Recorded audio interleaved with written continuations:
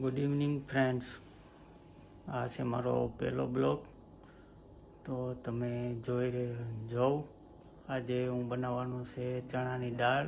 એ પણ દેશી સ્ટાઇલથી કુકર અહીંયા રાખી દીધું છે.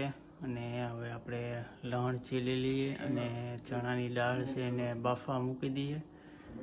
તો આજે દેશી સ્ટાઇલથી આપણે બનાવીશું ચણાની દાળ. તો જોઉં તમને વીડિયો ગમશે, વીડિયો પૂરેપૂરો જોજો. તો દાળ આપણી બફાઈ ગઈ છે. હવે અહીંયા તેલ મૂકી દીધું છે. લસણને બન ખાંડી લીધું કમ્પ્લીટ કરીને રાઈ અને ગરમ મસાલો ને એવું બધું લીધું ટમાટું ડુંગળીને વાઢીને મૂકી દીધી છે. હવે તેલ થાય. એટલે રાઈ અને થોડુંક જીરુંનો વઘાર કરીએ એમાં. પછી ડુંગળી નાખીએ, ગરમ મસાલો થોડોક. અહીંયા પીળ્યો એ નાખી દઉં અને જો આગળ બનાવીએ એવું સારું એવી દાળ. અહીંયા કુકરમાં દાળ બનાવી છે. આ અમારો ગેસ છે. જે આ છે પ્લાટો છે. એનું બટન આ છે, ઇલેક્ટ્રિક પ્લાટો છે. અને આ ચાર ગેસ છે. એ આ બટન દબાવીએ એટલે ચાલુ થઈ જાય ઓટોમેટિક. કોઈ લાઇટરની કે જરૂર નથી પડતી. ને તેલ મૂકી દીધું. આ સિમની છે, સરસ મજાની. એમાં મોટર છે, પંખો છે, લાઇટ છે, એવું ઘણું બધું છે. એટલે આપણે તેલ થઈ ગયા એટલે હવે એમાં નાખીએ હે જીરુંનો વઘાર કરીએ. મીઠો લીમડો તો નથી હાલ છે. જો આગળ જો દાળ બનાવીએ આપણે. સરસ મજાની. તો આપણું તેલ થઈ ગયું છે. હવે એમાં રાઈ અને જીરુંનો વઘાર કરીએ. રાઈ અને જીરું ફૂટી જાય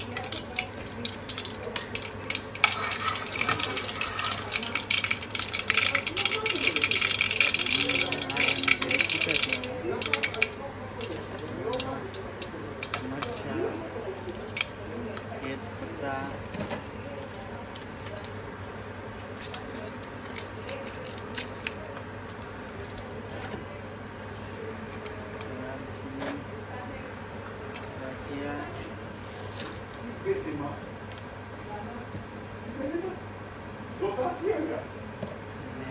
લવિંગ મરી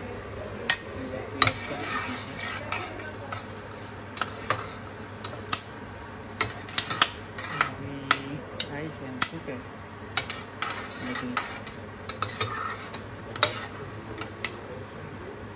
હવે એમાં આપણે ડુંગળી નાખીએ છીએ.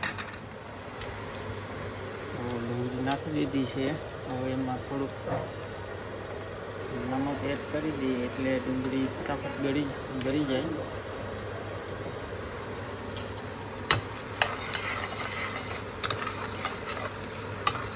તો ડુંગળી ગળી જાય એટલે એમાં પછી આપણે ટમાટર એડ કરી દીધું. ને પછી ટમાટર એડ કર્યા પછી ટમાટર ગળી જાય પછી મસાલો એડ કરી દીધો. એ બધું કરશું. બહુ મસ્ત દાળ બનશે. ચણાની દાળ છે આજે. દેશી સ્ટાઇલથી છે. અને એ પણ પાછી ઇઝરાયલ ટમેટા પણ નાખી દીધા છે હવે. એટલે ટમેટા પણ ગળતા થાય. ધીરે ધીરે. નમક એડ કરી દઈએ. જેથી કરીને સારો એવો સ્વાદ આવે.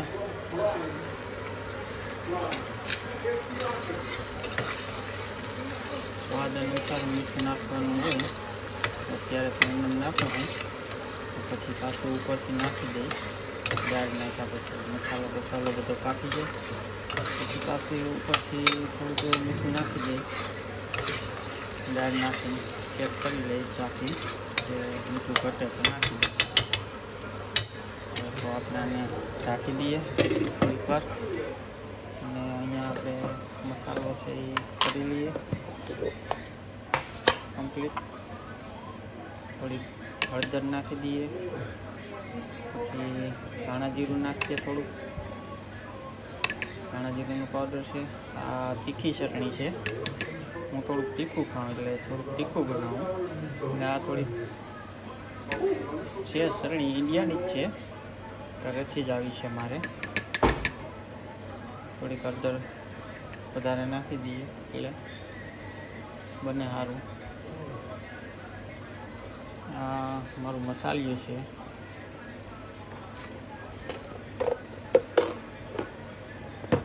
બધું નાખીને મિક્સ કરી લઈએ. આપણે પાણી થોડુંક નાખી આ ટમેટાને ડુંગળી છે ગળીએ તો મસાલો આપણો રેડી થઈ ગયો છે. અને અહીંયા ડુંગળી ટમેટા પણ ગળી ગયા છે. ગેસની ફ્લેમ સ્લો છે. ડુંગળી ટમેટાને બધું ગળી ગયું તો એમાં નાખી દઈએ મસાલો આપણે પાકતો થાય અને મેં ધાણા પણ કાઢી લીધા છે. બરાબર. અને હવે મસાલાને દાદીમાં છે મારી સાથે દાદી અમાને દાદો રહે છે. દાદીમાં એને પીઝા મેળવ્યા છે એ લોકો પીઝા ખાશે. અને ચણાની દાળ બનાવું છું.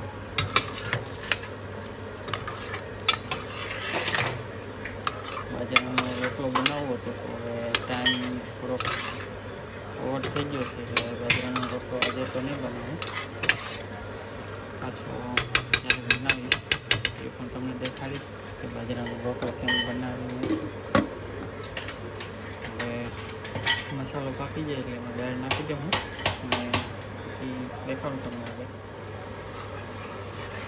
તો હવે ચણાની દાળ એક દીધી છે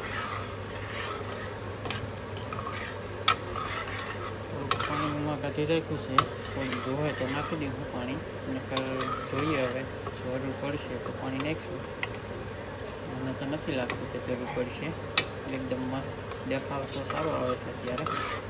ટેસ્ટમાં પણ સારી જશે. ચણાની દાળ દેશી સ્ટાઇલથી. તડકો આપણે ઉપરથી નથી મારતા. આપણે ભેગું જ બધું બનાવી નાખીએ છીએ એટલે એને કવર કરીને થોડું ગેસની ફ્લેમ ધીમ ધીમી કરી, તો ત્યાં લગીમાં ધાણા ખોટી રાખીએ આપણે. આપણી દાળ બનીને હવે કમ્પ્લીટ થઈ ગઈ છે. બહુ આછી નથી થઈ ને બહુ ઘાટી નથી થઈ. થોડીક રચ્છાવાળી કરી છે એટલે મજા આવે ખાવાની. હવે એમાં થોડોક ગરમ મસાલો કરી દઈએ. અને ઉપરથી ધાણાનો ફણગાર કરી દઈએ. એટલે સારું ગેસ ચાલુ રહી ગયો તો ભૂલાઈ ગયો તો બંધ કરી દીધો એને. આ એકદમ હાવ નાનો ગેસ છે, એનો ઉપયોગ મૂક્યો છે. મસ્ત બની છે દાળ. હજી તો ગરમ છે, ગેસ ઉપર જ છે હજી આમ બનીને તૈયાર થઈ ગઈ છે. હવે એમાં ધાણા નાખી દઈએ એટલે એકદમ શણગાર થઈ જાય એનો કમ્પ્લીટ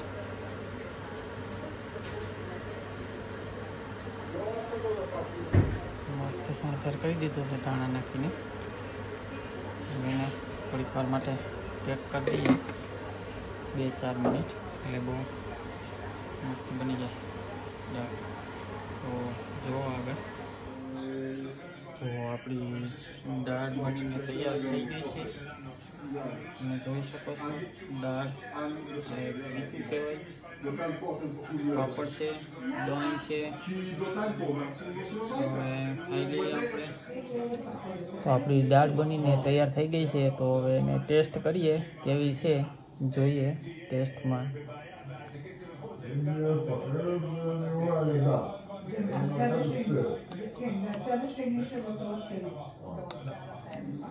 સુપર બની છે એક નંબર. થોડીક તીખી છે.